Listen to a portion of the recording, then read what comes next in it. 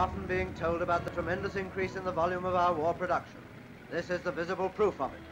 It's an army's center of mechanization, controlling the provision, receipt, storage, and dispatch of armored fighting vehicles and motor transport for our front lines in different parts of the world. Remember the days of Dunkirk and the Battle of Britain. Remember how pitifully underarmed we were then. Take a good look at this and see for yourself how much we have achieved.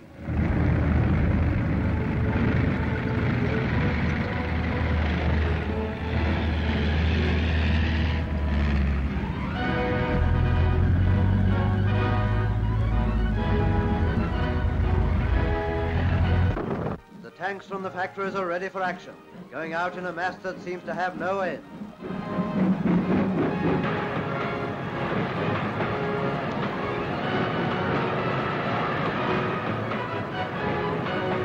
All these supplies raise the problem.